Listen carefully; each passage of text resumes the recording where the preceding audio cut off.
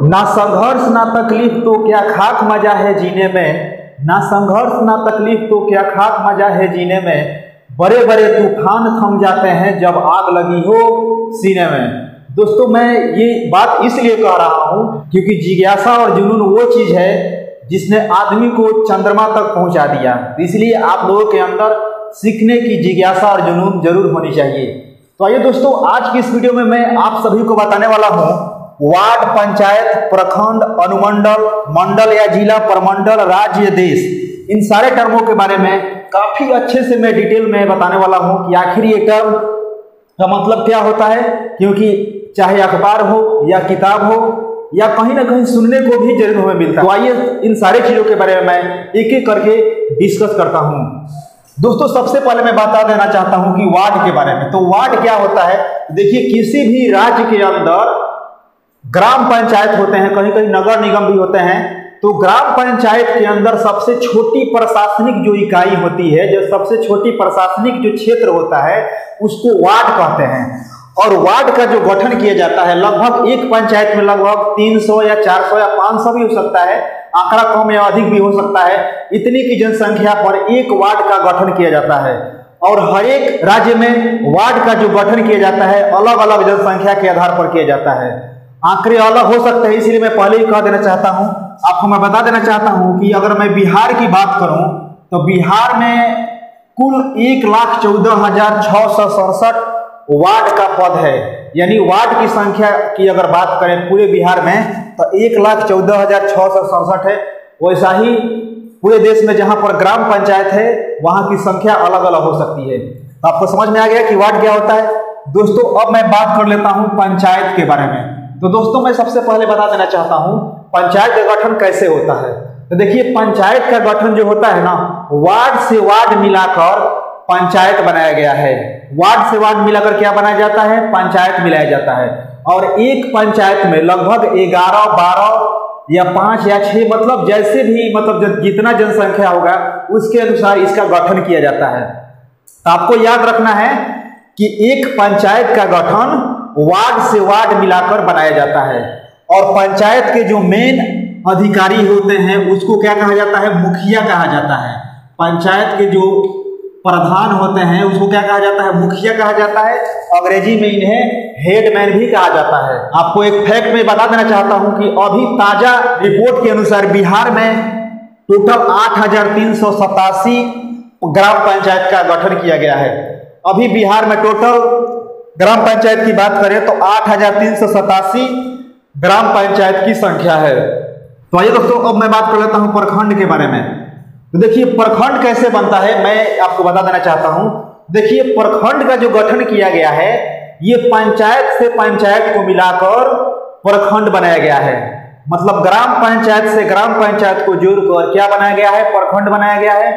आप कहीं भी रहते हैं, चाहे शहर में रहते हैं या गाँव में रहते हैं और कोई ना कोई तो नगर निगम या ग्राम पंचायत तो ज़रूर होगा। और एक प्रखंड में कई ग्राम पंचायत होते हैं। 20 ग्राम पंचायत हो सकते हैं 25 ग्राम पंचायत हो, सकते हैं। ये सारा जनसंख्या पर डिपेंड करता है। और पूरे बिहार की अगर मैं बात करूँ तो बिहार की आंकड़ा मैं निकाला हूँ। तो बिहार में टोटल अगर प्रखंड की बात करें तो बिहार में टोटल प्रखंड की, की संख्या पाँच है। बिहार में कुल प्रखंडों की संख्या कितना है? पाँच है। और प्रखंड के सबसे बड़े जो अधिकारी होते हैं, उसको कहा जाता है बीडीओ। बीडीओ का फुल फॉर्म होता है ब्लॉक डेवलपमेंट ऑफिसर, यानी प्रखंड विकास पदाधिकारी। यानी आपको याद हो गया कि प्रखंड के सबसे बड़े अधिकारी क्या कहते हैं? बीडीओ कहते हैं। दोस्तों, मैं बात कर लेता हूँ अनुमंडल के बारे में। अनुमंडल को अंग्रेज़ी में सब डिवीज़न कहा जाता है। तो देखिए, अनुमंडल कैसे बनता है? तो ये प्रखंड से प्रखंड मिलाकर अनुमंडल को बनाया जाता है।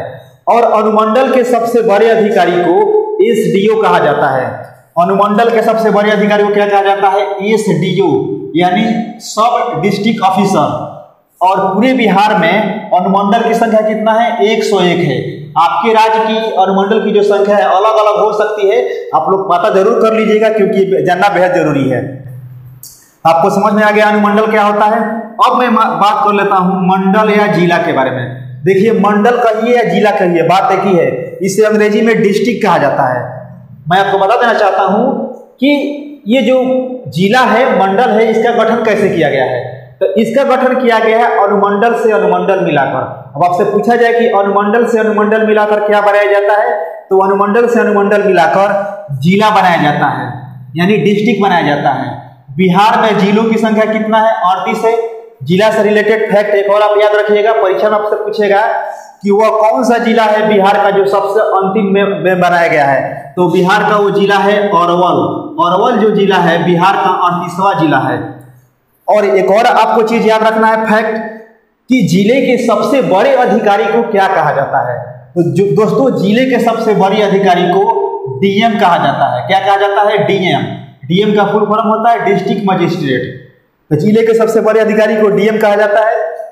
आपको समझ में आ गया? कि जिला का गठन कैसे किया जाता है।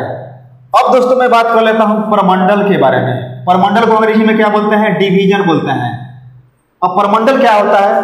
तो देखिए, ज़िले से ज़िले मिलाकर प्रमंडल को बनाया जाता है। ज़िले से ज़िले मिलाकर क्या बनाया जाता है? प्रमंडल बनाया जाता है। अब पूरे बिहार में, पूरे बिहार को नौ प्रमंडल में बांटा गया है। कितने प्रमंडल में बांटा गया है? नौ प्रमंडल में बांटा गया है। और प्रमंडल के सबसे बड़े अधिकारी को कमिश्नर कहा जाता है। और इसका, इसको हिंदी में क्या कहा जाता है कमिश्नर को आयुक्त कहा जाता है। प्रमंडल के सबसे बड़े अधिकारी क्या कहा जाता है कमिश्नर और हिंदी में इन्हें आयुक्त कहा जाता है।